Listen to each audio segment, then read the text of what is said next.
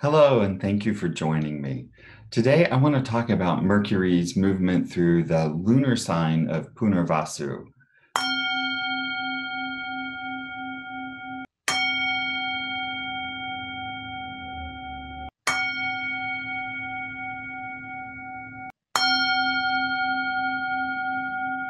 Hi, I'm Ramdas Bill Sinclair. I hope you'll like and subscribe to this site. Today, we're going to be talking about Mercury's movement through this lunar sign of Punarvasu. As you may know, in the Vedic system, we have a solar zodiac, which is Aries, Taurus, Gemini, those signs people are familiar with. We also have a lunar zodiac. And what the lunar zodiac tells us is how the planet is feeling, what's going on on the kind of emotional, intellectual level of the planet.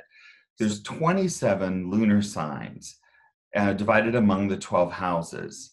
So we're coming into the last section of Gemini, which is ruled by uh, this sign called Punarvasu. Now, Mercury is going to be in Punarvasu from July 26th until August 3rd. On, and he'll be all he'll be stay in the sign of Gemini up until the very last day. The first three degrees, 20 minutes of Cancer are also included in this lunar sign. So we're going to concentrate mainly on um, how he's going to be doing in Gemini and how this will impact our thoughts, ideas, creative abilities, things like that. Mercury in Punarvasu is in a neutral sign because it's ruled by Jupiter. So they're pretty neutral to each other, which means Mercury has the ability to fully express all of his various, you know, thoughts, ideas, tendencies. So it can be considered um, a good place for Mercury to be. Now, Gemini itself is a restless sign, and this is where our wants and desires, needs, all this stuff starts to emerge is in the sign of Gemini. So Mercury is going to be um, reacting to some of those ideas. Gemini is ruled by Mercury um, itself, so that makes him even stronger in this sign. Mercury's behavior in the chart is largely influenced by the other planets that are in the sign with him. So when he's in there for this transit, we have to remember that Rahu is also in the sign of Gemini. And Rahu kind of acts like a plow cutting through the dirt, let's say, of our subconscious, and he churns things up and churns things up. So it's likely that, you know, during this whole time, which um, Mercury has been in Gemini, that your anxiety level has been increased. And that is going to change um, on August 2nd when he moves out of that area. But in this last section, there's some important things that we can kind of uh, gather from this whole process. And we're going to be talking about that today. So um, the one thing I said is like, you know, Rahu goes through and churns things up, but sometimes that uncovers gems and diamonds. I mean, really um, good things can be surfaced along with also the feeling of disruption. So let's talk about the, the narrative that's associated with the sign of Punarvasu. So the symbol they use for Punarvasu is a bow, like a bow and arrow. And specifically, this is the bow that was used when Sita, the wife of Rama, was um, engaged. So I want to tell you that story because I think by knowing the story, you'll be able to think about this, work with it yourself, and get even more information.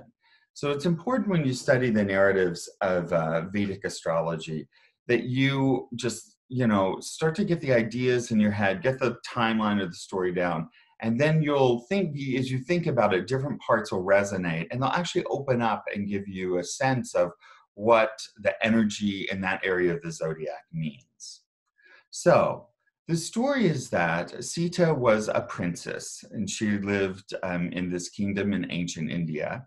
And one day, she, when she was a young a young girl, um, probably early adolescent, you know, she was out in the garden. They had these beautiful big gardens, and she was with her three cousins. So all four of them were princesses, and they're in this beautiful garden filled with mango trees and all the lush flowers and everything. And what they were doing is they were braiding garlands of flowers. So if you've been to India or if you've seen pictures of India, people wear these gorgeous garlands of flowers. So the young girls were braiding jasmine flowers. And usually what they do, it's a thin white kind of braid and they wear that in their hair for an ornament. It smells really beautiful. So this is what they were busy doing. And they realized that they couldn't reach the jasmine flowers because they were too high up in the tree. And so Sita, kind of without thinking, went into the weapons house and she grabbed a bow, an arrow, and came out. And with one shot, she shot through the mango tree and it loosened all the flowers and they fell to the ground in this beautiful cascade and they were none of the flowers were damaged in the fall so they could all be used so the princesses were very happy and they went about braiding you know the garlands together what they didn't know was um, sita's father king janaka was watching and he was amazed by this because the bow that sita grabbed was a bow that had been used by shiva um, and it was very powerful.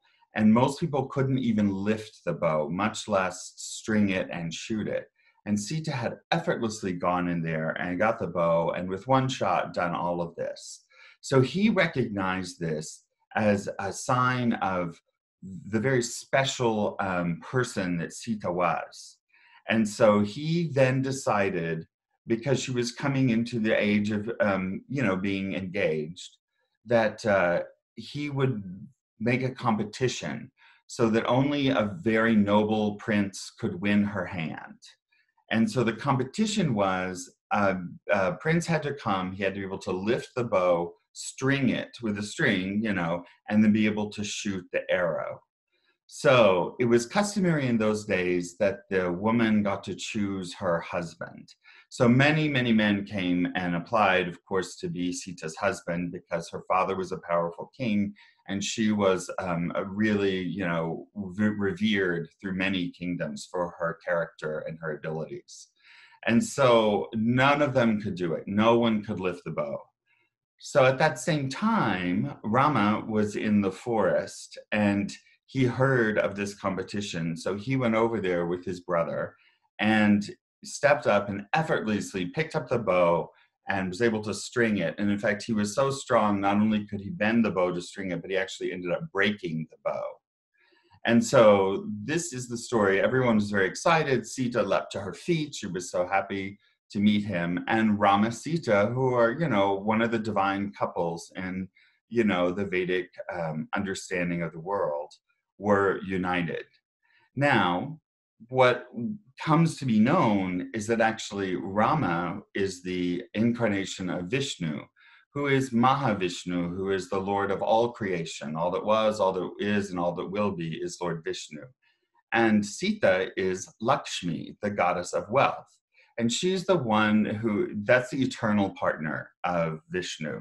So we have in this section of the sky the meeting of um, Vishnu and uh, Lakshmi. So that makes it a very special and powerful place. So I've been thinking a lot about what does that mean to us? We know the story tells us it's very powerful and that we can do all this. And I think the first thing that comes to mind is that this is the place where we can discover our hidden talents. Because Sita had no idea that this is a special bow, she was just acting on her instinct.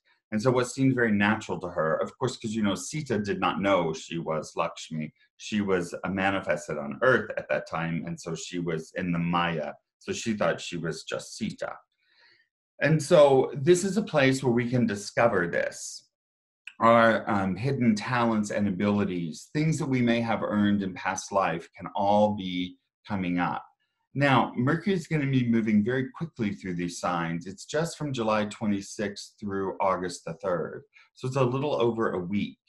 So I was looking at how we could use this energy for um, ourselves and what does this mean to us? And I thought, you know, it's very interesting. Rahu the plow just went through this sign in 2019. So he was in Punarvasu from January 2nd, 2019 up until September 11th. 2019. So I if you think back to those 9 months, January through the beginning of September of last year, this is where the uh, the things got churned up, the the hidden talents got revealed. And now Mercury is coming along, which gives us the ability to understand them, to recognize them, and to begin to work with them. This is a really good way to use this energy in this this you know week that he's active and see what comes to mind and also see what has changed since um, you know the last year because once it, it may be that the change has already taken place but we haven't really stopped to recognize it as a change. I'd like to go through little each sign and just share a few ideas with you about where you may be seeing that change in your life. And this is based on which house um, Gemini is placed in in your chart, because that tells us what area of life this is likely to manifest in. And this may help clarify the areas of life you could talk about for that January to September timeframe.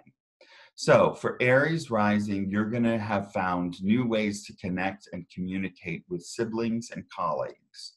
For Taurus, you have new understandings of talents and abilities from your family of origin that um, what used to be seen as weakness may be seen differently now.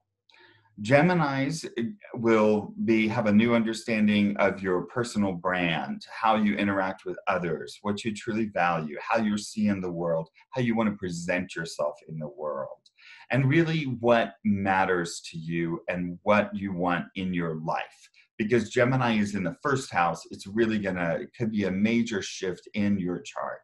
And it may just be a deeper understanding of things you had already known all along, or maybe you finally will begin to take action on those things that have been kind of floating in the back of your mind.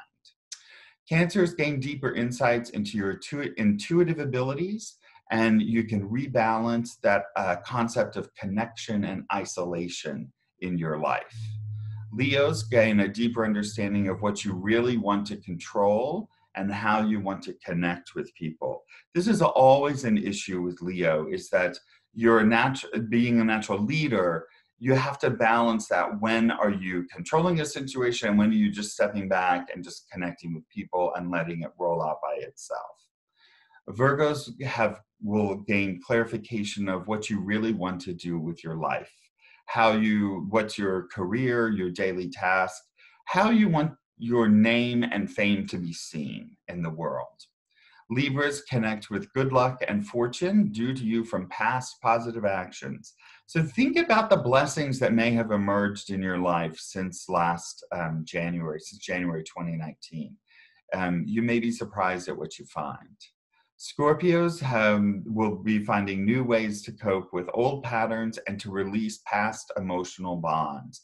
That can be very interesting Think back, something that used to plague you may have just started to disappear, and you can actively work to continue to move that out of your life. Sagittarius have new dimensions around relationship and communicating with communicating what you need.